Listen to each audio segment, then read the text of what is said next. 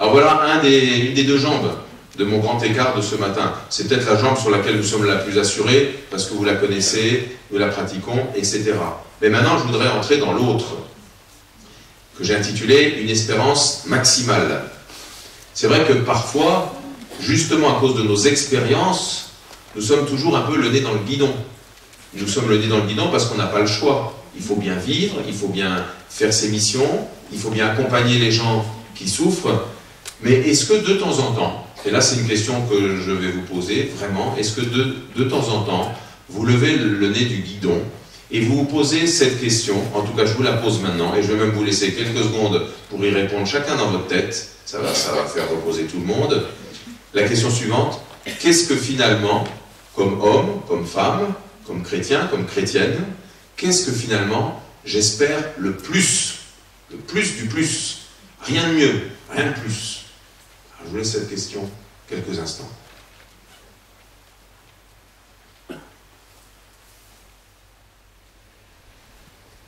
Et je vois sur vos visages radieux que vous êtes déjà parti très haut. Hein.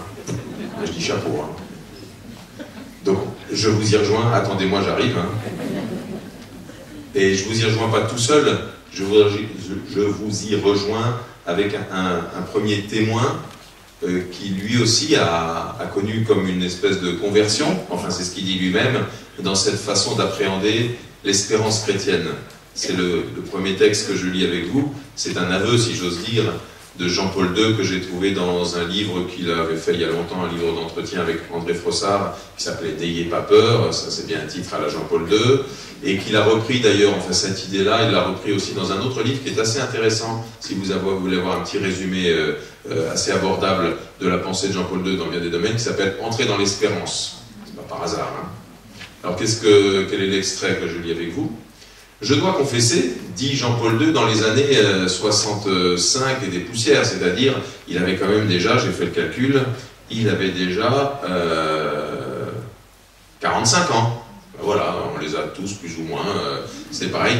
Je dois confesser que c'est le Concile Vatican II qui m'a aidé à trouver la synthèse de la foi personnelle, et en premier lieu, le chapitre 7 de la Constitution Lumen Gentium, c'est une constitution sur le mystère de l'Église dont nous parlerons tout au long de la journée, intitulée, quel titre hein Le caractère eschatologique de l'Église pérégrinante et son union avec l'Église céleste. Alors le jour où ils ont pondu ce titre, euh, bon, ils étaient peut je le, je le débroussaille tout de suite, hein, euh, eschatologique, c'est vraiment pas un mot de la langue quotidienne, c'est un mot qui est construit comme bien des mots grecs ou euh, des mots de, de racines anciennes en deux parties, Eschaton, alors il faut quand même que je vous apprenne ce mot si vous ne le connaissez pas. Eschaton, en grec, ça veut dire le dernier, l'ultime.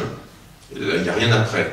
Donc l'eschatologie, alors logie, ça vous le reconnaissez partout, dans biologie, dans théologie, dans ce que vous voulez, ça veut dire le, le discours, la parole, euh, le discours sensé sur quelque chose. La biologie, c'est un discours sensé sur la vie. Eh bien, l'eschatologie, c'est un discours raisonnable, sensé sur les choses dernières, sur les eschatas. Autrement dit, on pourrait dire sur l'au-delà, si on veut faire un peu bref.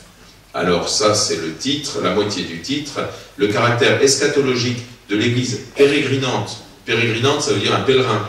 Donc l'Église sur cette terre, elle a déjà un caractère qui la fait être complètement pleine ou envahie, en tout cas des choses dernières. Voilà ce que ça veut dire, le caractère eschatologique de l'Église pérégrinante. Ça veut dire que l'Église sur cette terre est déjà pleine des réalités ultimes je le traduis à ma sauce, et son union avec l'Église céleste. Alors bon, on en lira des extraits forcément tout à l'heure, puisque c'est là que Jean-Paul II a, découvert quelque chose, nous aussi sans doute. Hein. Ma découverte consiste en ceci. Alors qu'avant, je considérais surtout l'eschatologie de l'homme et mon avenir personnel dans l'au-delà, qui est dans les mains de Dieu, très bien, la constitution du Concile a déplacé le centre de gravité vers l'Église et le monde, ce qui donne à la doctrine des réalités ultimes de l'homme sa pleine dimension. Quelle est la conversion qu'il a faite, si je la résume? C'est qu'il posait des questions comme on vous a obligé à vous en poser tout à l'heure et comme on s'en pose très souvent. Les questions sur l'au-delà de la mort, on se les, pose en termes personnels. Qu'est-ce que je vais devenir? Qu'est-ce qu'il va devenir? Etc.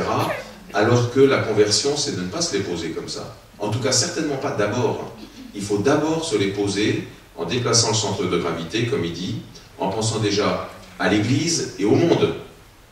L'Église comme corps du Christ, comme peuple de Dieu, comme on chante si volontiers, et le monde comme aussi tout ce cosmos qui nous habite. Et quoi Il n'y a que moi qui serait considéré, qui serait euh, concerné par un au-delà? Et l'Église et le monde Et si on commence par réfléchir à l'Église et au monde, ça veut dire qu'on n'est pas loin de réfléchir en fait à celui qui nous permet de comprendre un peu l'Église et le monde, c'est-à-dire à Dieu lui-même. Et c'est d'abord en regardant du côté de Dieu qu'on va comprendre peut-être quelque chose sur les fins dernières concernant l'Église, concernant le monde, et que là-dedans, eh bien, très paisiblement et plein d'espérance, on pourra dire quelque chose de la place de chacun de nous. Curieusement, l'eschatologie, cette science dont je vous parlais, a été boostée dans la deuxième moitié du XXe siècle. Alors je vous ferai la grâce du pourquoi, du comment, des auteurs qui s'y sont appelés, mais croyez-moi, il y a plein de productions, il y a plein d'études qui ont été faites sur l'eschatologie, et qui ont au moins une chose en commun, toutes, après elles divergent parfois largement, mais il y a une chose en commun, elles font le constat que cette question de l'eschatologie n'a pas été portée de la même façon, en gros, au premier et au deuxième millénaire.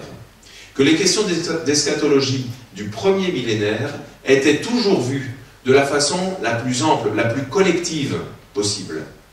Alors que finalement, ce deuxième millénaire, alors c'est une caricature, mais ça aide un peu à comprendre, le deuxième millénaire, peut-être aussi par, des essors d'individualisme, peut-être parce que aussi l'Église, réagissant à ceci ou cela, a fait un discours qui finalement allait devenir effectivement un peu individualisant. Bref, le deuxième millénaire voit plutôt l'eschatologie d'abord d'un point de vue individuel.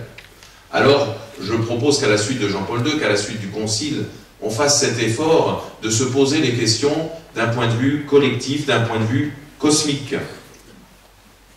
Et finalement, ça rejoint aussi la remarque que Benoît XVI euh, faisait dans son encyclique, dont je parlerai plusieurs fois, parce qu'elle est tout à fait remarquable, la première encyclique, ou la deuxième tout d'un coup.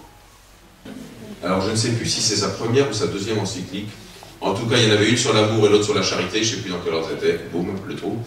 La, celle sur l'espérance, Spe Salvi, sauvé dans l'espérance, aborde toutes les questions en fait que nous sommes en train de traiter. Alors, je vous indiquerai plusieurs petits livres qui pourront vous aider à poursuivre, dont sans aucun doute cette encyclique. Elle n'est pas de lecture immédiate, mais avec une journée comme celle qui va nous fatiguer, après toutes les lectures deviendront faciles. Et vous y trouverez ceci au numéro 31. Nous avons besoin des espérances, des plus petites ou des plus grandes, qui au jour le jour nous maintiennent en chemin.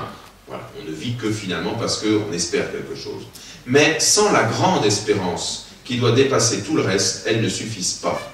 Cette grande espérance, celle que vous aviez dans la tête tout à l'heure, ne peut être que Dieu seul, qui embrasse l'univers et qui peut nous proposer et nous donner ce que seuls nous ne pouvons atteindre. Précisément, le fait d'être gratifié d'un don fait partie de l'espérance que Dieu me donne. Dieu est le fondement de l'espérance, non pas n'importe quel Dieu, mais le Dieu qui possède un visage humain et qui nous a aimés jusqu'au bout, chacun individuellement et l'humanité tout entière. Son règne n'est pas un au-delà imaginaire, placé dans un avenir qui ne se réalise jamais. Son règne est présent là où il est aimé et où son amour nous atteint. Seul son amour nous donne la possibilité de persévérer avec sobriété jour après jour sans perdre l'élan de l'espérance, dans un monde qui par nature est imparfait. Et en même temps, son amour est pour nous la garantie qu'existe ce que nous pressentons vaguement et que cependant nous attendons au plus profond de nous-mêmes, la vie qui est vraiment la vie. Alors je ne sais pas de quelle façon dans vos têtes tout à l'heure vous aviez formulé la réponse à ma question, mais j'imagine qu'il y avait des choses qui ressemblaient à ça, une vie qui soit vraiment la vie. Ou peut-être vous avez été jusqu'à dire ce don que Dieu seul peut nous donner. Et peut-être que vous avez peut-être été jusqu'à rassembler ces deux espérances-là et penser que le don que Dieu peut vous faire suprêmement et définitivement et éternellement, c'est celui de sa vie. Et que par là, j'allais dire, toutes nos espérances peuvent être comblées. Voilà en tout cas vers où je voudrais aller avec vous. Et j'ai le droit d'y aller. Et j'ai même le devoir d'y aller parce que ça fait 20 siècles que l'Église porte cette espérance, en le sachant ou sans, le savoir, et que dès les premières communautés chrétiennes, eh bien, les, ceux qui nous ont transmis la foi de ces communautés portaient cette espérance. Alors, on va s'arrêter maintenant sur deux exemples de, de, de cette révélation que Paul traduit si bien. J'ai choisi Paul plutôt que les évangiles pour deux raisons. Parce que Paul s'adresse en permanence à des communautés chrétiennes, c'est-à-dire qu'il est un peu dans notre contexte. Les évangiles aussi, bien évidemment, mais on sent que c'est un, discours qui est moins direct, c'est un discours qui est, la prière, qui est la révélation. Enfin, je ne fais pas de laïus là-dessus. Et d'autre part, parce que les écrits de Paul sont les plus anciens aussi, sont les plus proches de l'événement de la résurrection. Par exemple, les épîtres aux Thessaloniciens, dont je vais lire la première épître aux Thessaloniciens, dont je vais lire deux extraits maintenant, elle date quoi? Elle date des, années 50, en gros, les, spécialistes, là aussi, sont à peu près unanimes. Donc on est 15 ans ou une quinzaine, une vingtaine d'années après le mystère pascal, les communautés chrétiennes, elles se posent des questions voisines des nôtres. Alors je vais lire déjà la première de ces questions. C'est celle qui est en bas de la page 1, c'est-à-dire l'extrait de la première aux Thessaloniciens, chapitre 4, verset 13 à 18.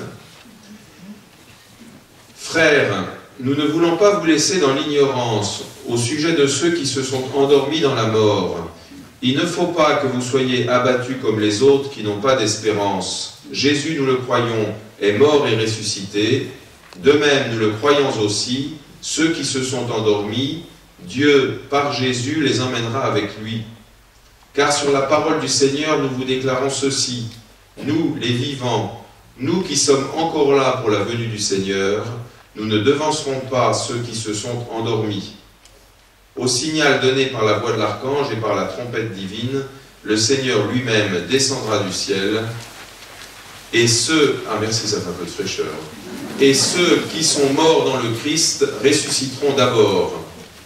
Ensuite, nous les vivants, nous qui sommes encore là, nous serons emportés sur les nuées du ciel, en même temps qu'eux, à la rencontre du Seigneur. Ainsi nous serons pour toujours avec le Seigneur. Réconfortez-vous donc les uns les autres avec ce que je viens de vous dire. Je ne sais pas si ça vous réconforte. En tout cas, Saint Paul voulait cela. Et puis l'Église continue à le vouloir parce que c'est un des textes qui sont souvent choisis pour la célébration des sépultures. Alors, arrêtons-nous quand même quelques instants sur ce texte pour voir les enjeux. Enjeux par rapport donc à la mort et un enjeu qui se joue, qui se noue, qui se présente dans un contexte finalement où les questions sont un peu voisines des nôtres. Il y a au moins trois choses qui pourtant différencient le contexte, et puis deux autres qui euh, l'illuminent différemment. Alors, je, précise, le contexte de Paul n'est pas le nôtre. Quand il écrit à la communauté thessalonique, c'est pas nous ici au XXIe siècle en particulier les questions que je posais tout à l'heure, la place du spirituel, la place du communautaire, la place de Dieu, bien entendu, ne sont pas appréhendées de la même façon à Thessalonique et à la communauté juive de Thessalonique, essentiellement juive et chrétienne, à laquelle Paul s'adresse, que la nôtre. Ça, c'est entendu. Néanmoins, il y a bien une chose qui demeure, c'est l'interrogation et même la souffrance ou la révolte ou l'incompréhension par rapport aux questions liées à la mort. C'est bien ça qu'on est en train de lui poser à Saint Paul et c'est à ça qu'il va essayer de répondre. Donc ça, c'est une différence.